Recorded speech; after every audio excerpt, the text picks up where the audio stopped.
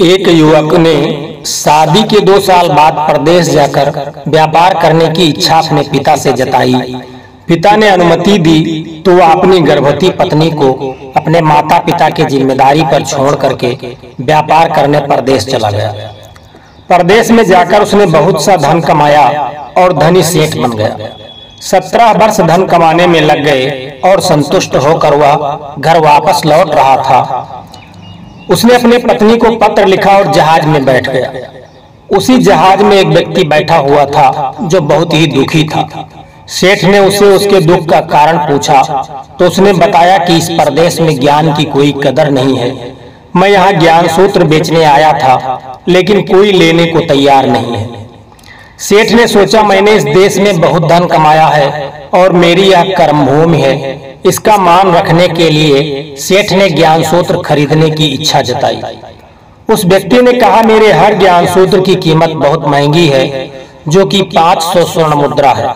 पहले तो सेठ को सौदा बहुत महँगा लगा, लेकिन कर्म भूमि का सम्मान करने के लिए उसने सेठ ने 500 स्वर्ण मुद्रा उस व्यक्ति को दे दी। व्यक्ति ने पहला ज्ञान सूत्र दिया और बोला, कोई भी कार्य करने से पहले दो मिनट सोच लेना। सेठ ने सूत्र अपनी किताब में लिख लिया। कई दिनों की यात्रा के बाद सेठ अपने नगर में पहुँचा। सेठ ने सोचा, इतने दिनों के बाद घर वापस लौटा है तो क्यों न बिना बताए चुपके से पत्नी के पास पहुंचूं और उसे सरप्राइज़ दे दे?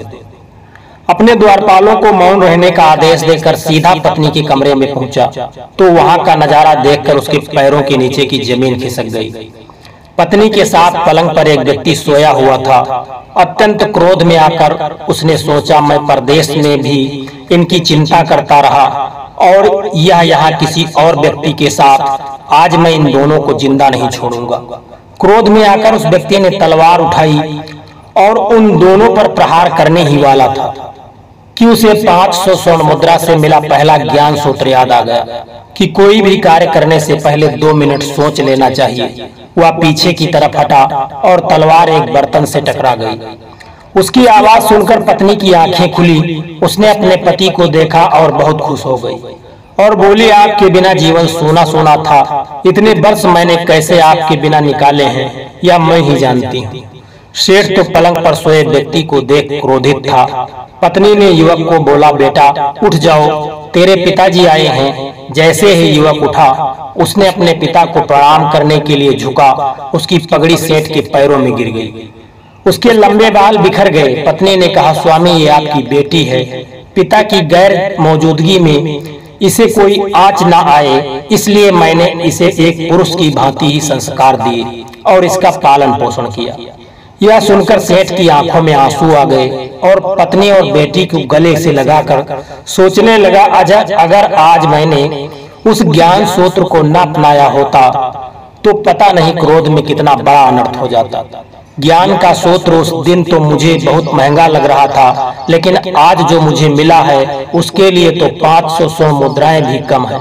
ज्ञान तो अनमोल है, इस कहानी का सार यह है कि जीवन में जो दुखों से बचाकर, सुख की बरसात कर सकते हैं, वह क्रोध के दो मिनट है। अर्थात आप अपनी ज़िंदगी में कुछ भी करने जा रहे हो तो पहले अच्छे से सोच लेना चाहिए क्या वह कार्य सही है या गलत। जय श्री कृष्णा। मित्रों, यदि यह वीडियो आपको पसंद आया हो तो वीडियो को लाइक कर देना और कमेंट करके लिख देना जय श्री कृष्णा।